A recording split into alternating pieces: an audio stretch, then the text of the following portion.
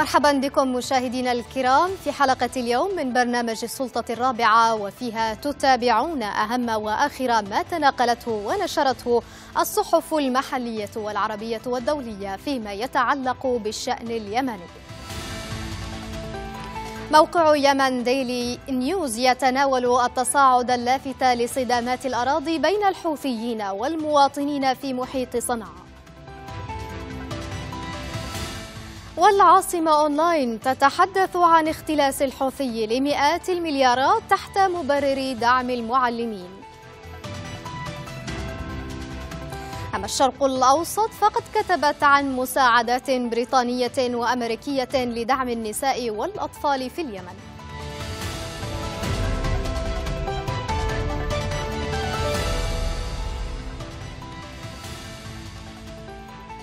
مرحبا بكم. البداية من موقع يمن ديلي نيوز والذي نشر تقريرا قال فيه إن رقعة الصدامات على الأراضي بين المواطنين ومسلحي جماعة الحوثي الإرهابية تصاعدت في المحافظات الخاضعة لسيطرة الجماعة خصوصا في مديريات طوق صنعاء. وأظهر رصد أجراه يمن ديلي نيوز لعدد من أبرز صدامات الأراضي التي شهدتها مناطق سيطرة الحوثيين خلال شهر يوليو والتي تركز معظمها أو تركز معظمها في المديريات المحيطة بالعاصمة صنعاء. أفاد الموقع أن محافظة الجوف شهدت صدامات عنيفة مؤخرا قتل على إثرها حوثيون ومواطنون من قبائل ذو محمد. إثر توجيه الحوثيين حملة شاركت فيها تشكيلات أمنية وعسكرية للسيطرة على ما يزيد عن خمسة آلاف هكتار من أراضي القبائل. وقال الموقع إن مجلس مقاومة صنعاء اتهم الحوثيين بالعمل على عسكرة مداخل العاصمة صنعاء من خلال توزيع الأراضي التي تبسط عليها بقوة السلاح على مقاتليها وبناء مدن سكنية شبيهة بالمعسكرات.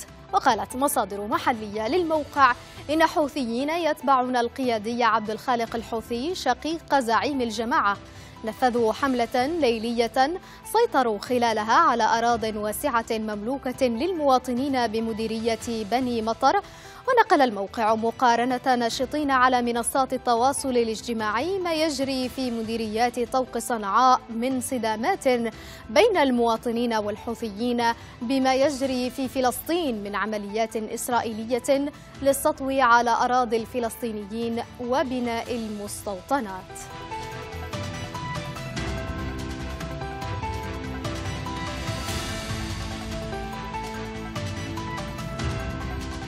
نشر موقع الحرف 24 تقريرا قال فيه إن مسؤولا محليا في محافظة مأرب. حذر من مجاعة محققة في أوساط النازحين بسبب تراجع التدخلات الإنسانية للمنظمات الأممية. وبحسب الموقع فقد دعا وكيل محافظة مأرب عبد رب مفتاح المنظمات التي إلى القيام بمهامها وواجبها الإنساني تجاه النازحين والمهاجرين الأفارقة والمساعدة في تقديم الرعاية لهم.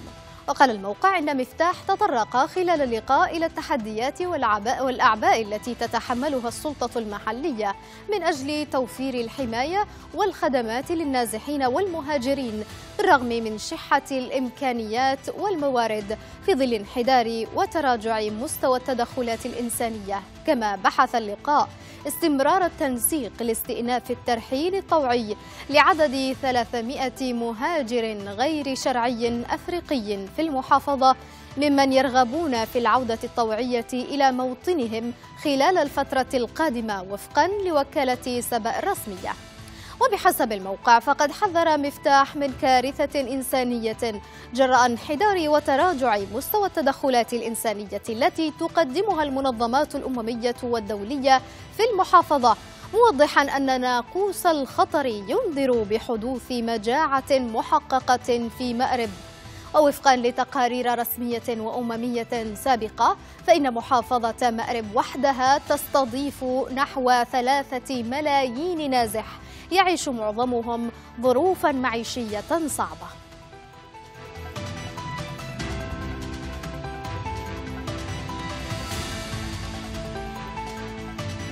قال موقع يمن شباب نت إن إضراب المعلمين في العاصمة صنعاء والمناطق التي تسيطر عليها ميليشيا الحوثي دخل أسبوعه الثاني بعد تنظيم المعلمين إضرابا شاملا لإجبار الميليشيا على دفع مرتباتهم.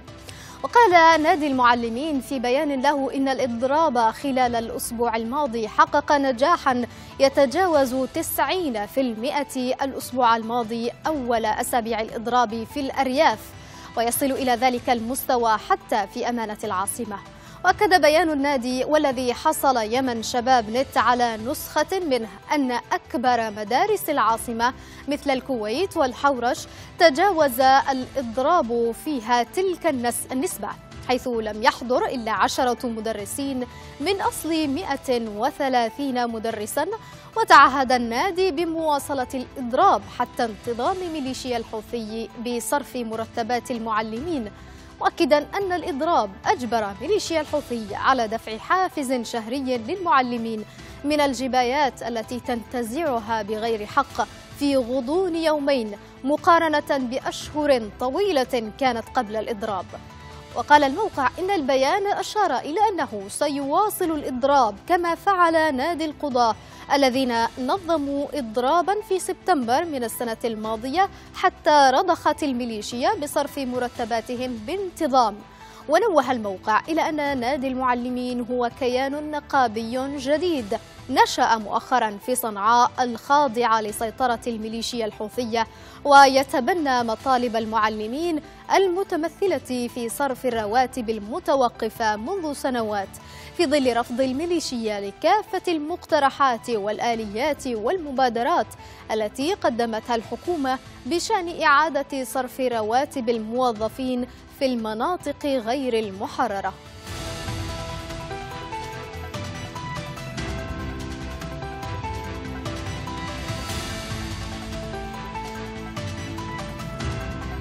قال موقع العاصمة أونلاين في تقريره الخاص إن ميليشيا الحوثي تنهب ما يقارب من 820 مليون ريال كل شهر فيما المعلمون يعانون من الفاقة والجوع بفعل رفض الحوثيين صرف مرتباتهم. وأوضح الموقع أنه تم تخصيص خمسة مليارات ريال لطباعة المناهج الدراسية التي تم يتم طباعتها في مطابع الكتاب المدرسي الحكومية وبدعم من منظمات دولية وإقليمية. وقال الموقع إن الميليشيا تعمل على بيع الكتاب المدرسي الحكومي بمبالغ باهظة على الطلاب. مشيرا إلى أن المعلمين ما يزالون يقاسون الحرمان بسبب العديد من المبادرات الحوثية لنهب الموارد باسمهم.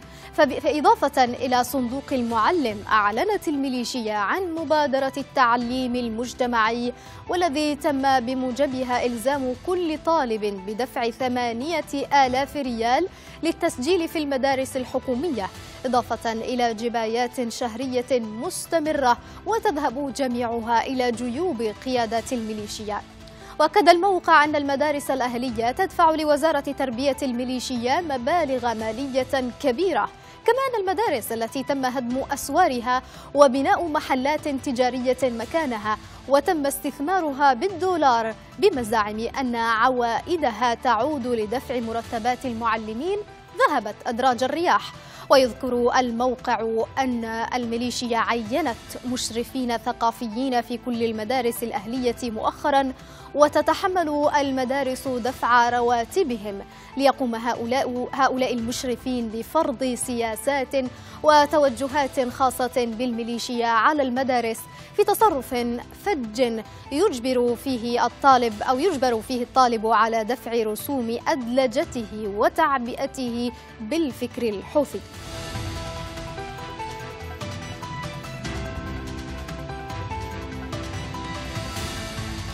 وسط تدهور الأوضاع الإنسانية في اليمن جراء ظروف الصراع ونقص التمويل الأممي قالت صحيفة الشرق الأوسط إن بريطانيا والولايات المتحدة أعلنت عن مساعدات جديدة لمصلحة النساء والأطفال اليمنيين بنحو 228 مليون دولار. تقول الصحيفة إن ذلك جاء وسط تأكيدات أممية بأن أكثر من خمسة ملايين امرأة في اليمن تعاني من الوصول المحدود أو عدم الوصول لخدمات الصحة الإنجابية. من بينهن مليون وخمسمائة ألف امرأة من النساء الحوامل اللواتي يعانين من سوء التغذية الحاد. وافادت الصحيفة في تقريرها أن وزارة الخارجية البريطانية أعلنت عن برنامج مساعدات إنسانية بقيمة 205 ملايين دولار لتوفير الرعاية الصحية للنساء والأطفال المتضررين من الحرب في اليمن. وقالت الوزارة في بيان إن برنامج المساعدات الذي يستمر أربعة أعوام يوفر رعاية صحية لنحو مليون طفل وامرأة سنويا ويوفر التغذية ومياه شرب نظيفة ومياه صرف صحي وخدمات الصحة النسائية والولادة إضافة إلى توفير الحماية ضد العنف. وتقول الصحيفة إن مكتب المساعدات الإنسانية التابعة للوكالة الأمريكية للتنمية الدولية قدم مساعدة أو مساهمة ب 23 مليون دولار لصندوق الأمم المتحدة للسكان لتوفير الإغاثة الطارئة وخدمات الحماية والصحة الإنجابية المنقذة للحياة لمليون وثلاثمائة ألف, ألف من النساء والفتيات الأشد استضعافا في اليمن. وبحسب الصحيفة فقد أكد الصندوق الأممي أن أكثر من خمسة ملايين من النساء والفتيات في سن الإنجاب يعانين من الوصول المحدود أو عدم الوصول لخدمات الصحة الإنجابية. من بينهن مليون وخمسمائة ألف من النساء الحوامل.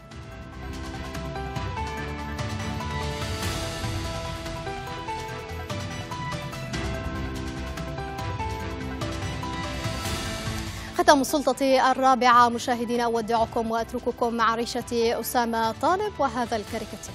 إلى اللقاء.